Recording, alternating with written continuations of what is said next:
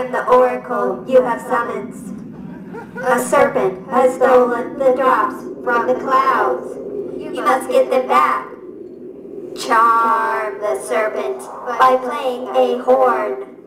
Snakes love that kind of music.